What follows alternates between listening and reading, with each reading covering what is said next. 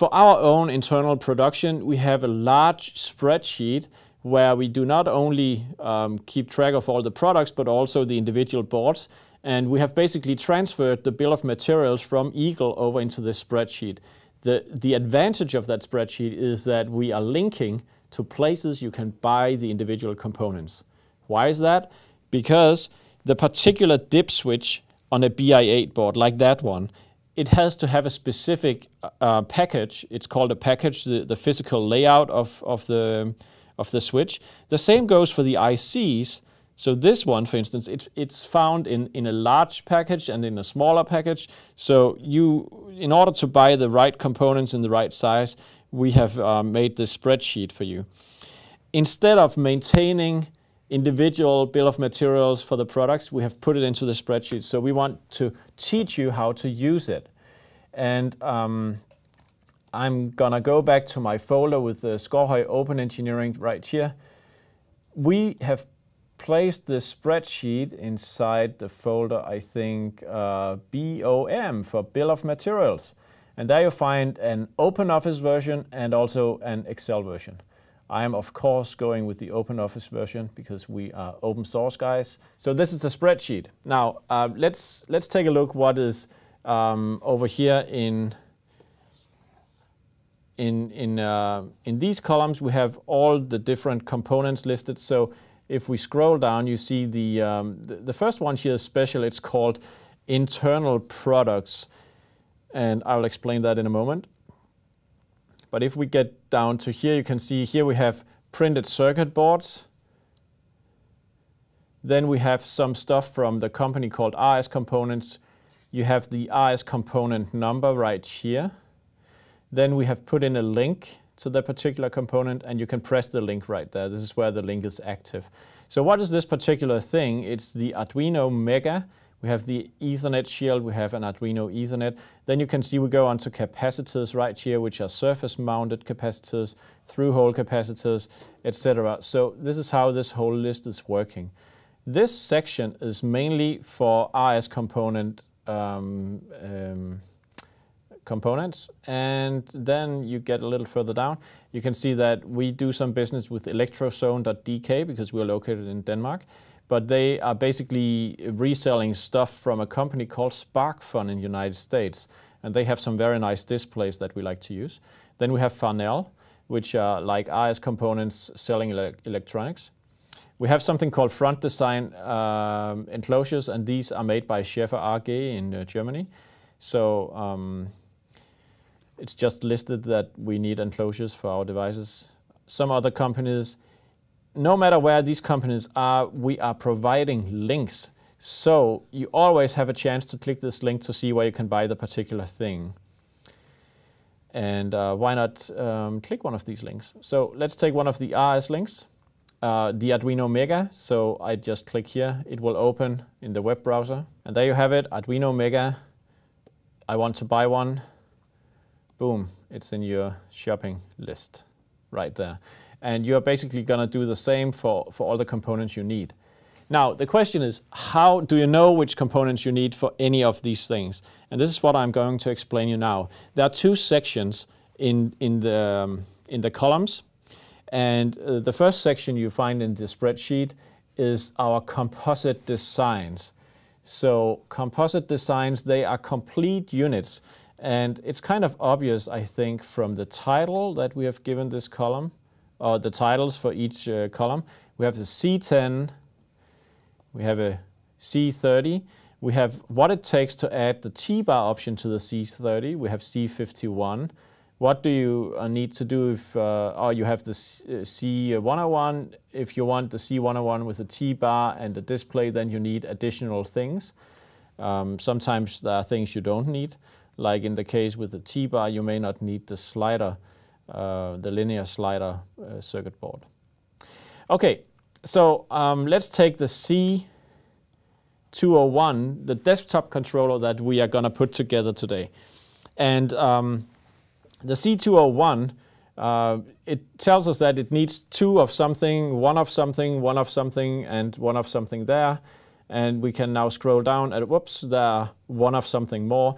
The way you display this in a spreadsheet like this is you use the split function, and that will help you enormously to keep track of all this stuff because then, whoops, voila, you can see that, ha, okay, so we need two of what? We need two BI8 boards called 1 times 8 slim without buttons. We need one BI8 board special edition C201. We need one linear slider board. We need one rotary encoder board, one tiny breakout board for a display. And um, the reason why these are called internal products is that these are referring to a completely assembled board, like for instance this one.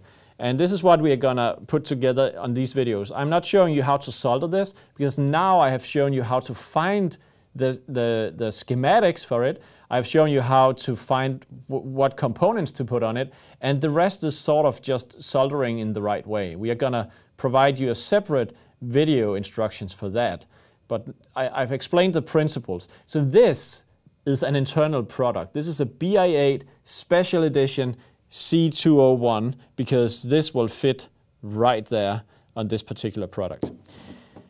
So this is what these, these components are in, in, in this section. And as we scroll down, we can see where else we have some, some ones. And you can see that these ones here is, they are referring to an Arduino Mega. We need an Ethernet shield and we need a power supply. And what more? Whoops, we need what? We need some flat cable. And we need some screws. Four of those. I wonder what they are for, and it doesn't tell me, but, but I trust that we need that. Then we need some, some displays from Electrozone or SparkFun. I need an enclosure, I need some cables, blah, blah, blah. Ha, okay, I also need some switches. So these are the switches that we need for the BI8 boards. And if I, if I click there, for instance, then it will take us to the page where you can see how to buy one of these very nice NKK uh, broadcast type buttons. Okay.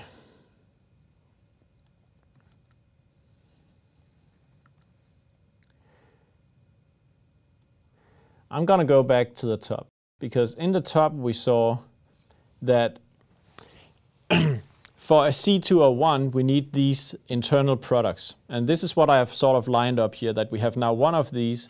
We have uh, two of the slim boards over here. Um, then you can see that since we are also going with the um, the option T-bar, we are going with the extra keys option, and we are going with the smart switches option, then you can sort of um, imagine that we need additional boards. For instance, for the smart switch, we also need a smart switch board with uh, two buttons on. For the extra keys, we need an additional BI8 1 times 8 slim button. So now we are up to, to three here. And you can see if, if we are going with the T-bar option, then in fact, we are going to subtract one of the linear, linear slider boards because instead of a linear slider, we are going to use a T-bar, and for a T-bar, we need a tiny breakout board for a T-bar. So this is how um, the, the spreadsheet tells us this. But what goes actually on this particular one? And we're also going to help you with that because you are not only, um, you, you can actually get the same kind of help from this spreadsheet and not only the Eagle files. So let's, let's uh, go a little further out in this spreadsheet and you'll see that we can get to a point where, we, where it says internal products, whoops. And here you have the internal products like BI8 1 times 8 slim. And guess what? If you scroll down, you can see for one of these guys, you need the circuit board, you need some capacitors, 100 nanofarad, you need a 10 microfarad capacitor, you need some 270 ohm resistors, and the particular resistor is a um, 0603, that's, that's the size of the resistor for surface mount, and we have a link to the resistor right there. So again, you can go to RS Online, you can buy the resistor, yes, buy me 50 of those, and uh, there you go. This is, this is how it's working. In this way, you can now access all the information that we are using to produce these things. You know where you can buy the things, you just need to add everything up and order it. And that's a process in itself.